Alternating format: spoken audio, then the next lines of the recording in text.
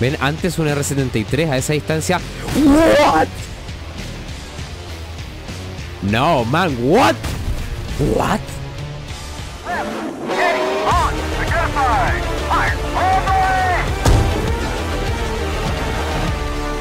Hola chicas gamers, bienvenidos a un gameplay comentado de War Thunder El día de hoy vamos, esta vez es un gameplay ¿eh? El día de hoy vamos a estar probando, como les dije, lo, prometido es deuda Las capacidades del R73 este, mm, Estamos jugando una misión de usuario por URL La pueden encontrar o en la descripción o en el primer comentario De verdad que se la recomiendo mucho Ahí tienen, como pueden ver, el Su-25BM En este caso un bot el que lo está controlando No es un jugador Y como pueden ver también estamos probando acá nuestro hermoso MiG-29 Ahí nos disparó un R73 Vamos a ver sus capacidades. Si es que no usamos bengalas Gira bastante bien. Gira bastante, bastante, bastante bien. Ahora también me gustaría probarlo Con bengalas eh, Con el motor, con el afterburner apagado Para ver qué tal sus capacidades del misil. A ver, el, viene hacia mí el avión Viene hacia mí. ¿A dónde está tirando el misil este loco? Lo ha tirado al cielo. Ahora viene, ahora viene, mira. Con el afterburner apagado, de lado Viene, pero perfecto hacia mí Pero si tiramos unas bengalas, por lo menos de aspecto lateral Las, las esquiva, ¿ok?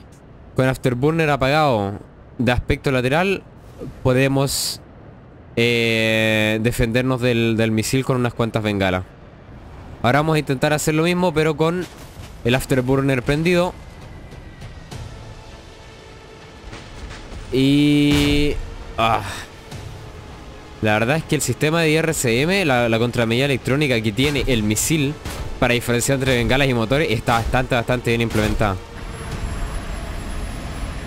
Veamos, veamos si es que podemos eh, esquivar un misil de aspecto trasero totalmente. Aspecto trasero, para los que no sepan, usualmente es el aspecto más difícil de esquivar misiles y cosas así. Es el aspecto que le va a dar más posibilidades al misil de arte, básicamente. Ah, pero primero que nada vamos a hacer un, un head-on para que vean de aspecto delantero como el misil no es tan eficiente el avión cuando nos apunta desde adelante o desde el lado, el, desde adelante el misil casi no traquea. Una bengala y estás listo, incluso con posquemador. Desde al lado, sin posquemador y con bengala te defiendes. Con posquemador eh, es muy probable que te traquee, incluso con bengala. Desde aspecto trasero, yo diría que con posquemador es una muerte del 100%. No hay, no hay nada que podamos hacer. El misil maniobra demasiado bien como para esquivarlo, pero quizás de aspecto trasero, sin posquemador y con bengalas podamos hacer algo. Vamos a probar eso ahora, ¿ok? Aspecto trasero, sin posquemador con bengalas para ver si es que en el último en, el peor de los casos quizás nos podemos defender.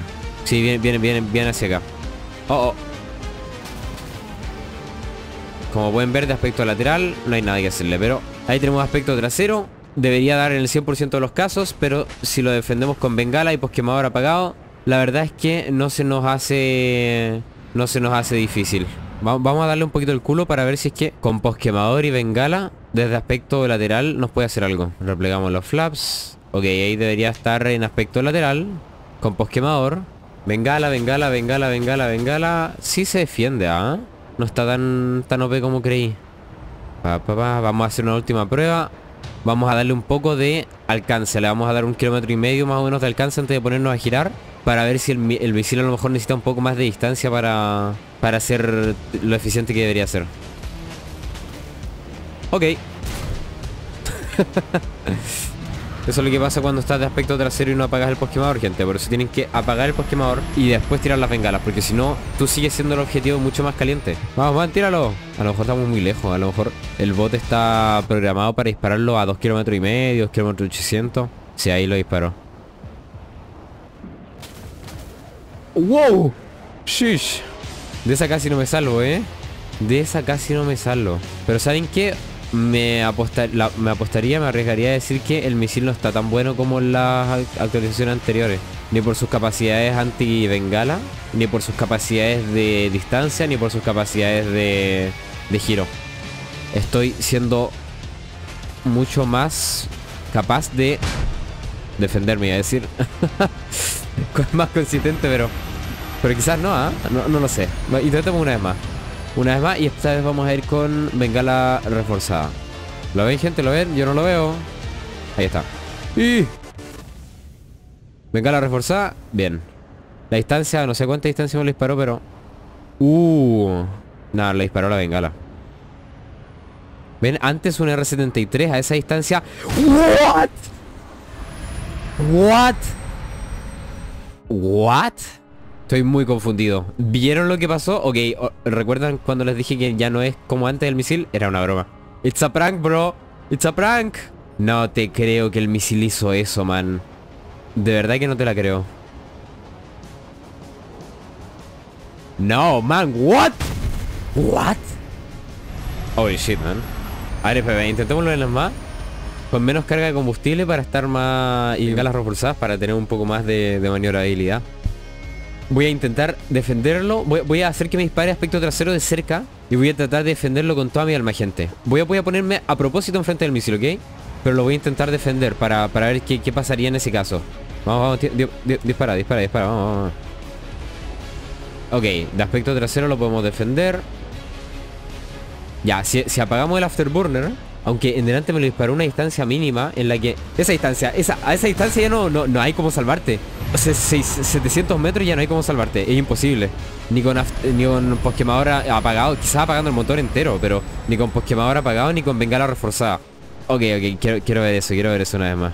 Quiero ver si de aspecto delantero, sin apagar el posquemador y sin usar bengala, el avión me puede disparar. Pero en todo este momento, el avión en ningún momento se me ha puesto de frente. No, pero no lo va a hacer. Ok, el bot me está esquivando a propósito.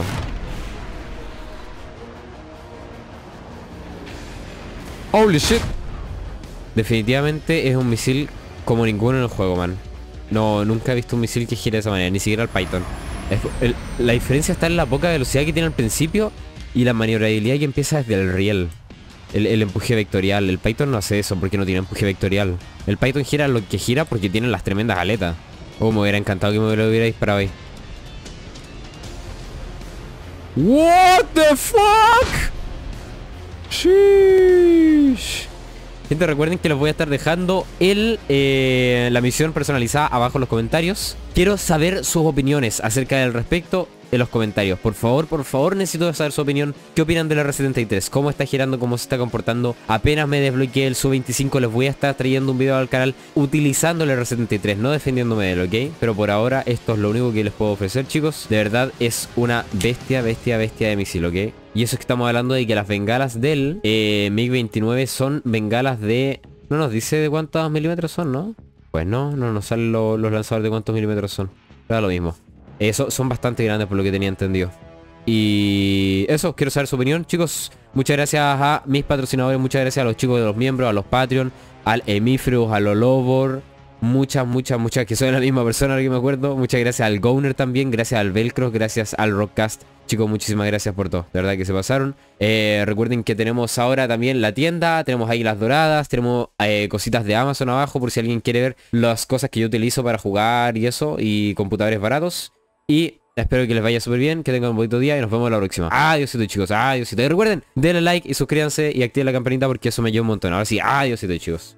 Adiósito. Si juegas War Thunder, pero de manera no tan regular, y aún así quieres saborear esas deliciosas águilas doradas sin gastar dinero real, esta es tu solución. Hay una aplicación para móvil perfecta para ti y se llama GE4WT. Una aplicación legal y simple que te permitirá ganar águilas doradas simplemente siguiendo unos pasos, como ver publicidad, completar encuestas, jugando juegos y mucho más, mientras ganas águilas doradas gratis para War Thunder. Y cuando alcanzas una cantidad específica, puedes transferirlas directo a tu cuenta. Y además si usas mi código CH94W, que además tienes un link para la app abajo en la descripción, podrás ganar 10 águilas doradas inmediatamente. Y sí, ayudas inmensamente al canal. Por eso de todo corazón, muchísimas gracias.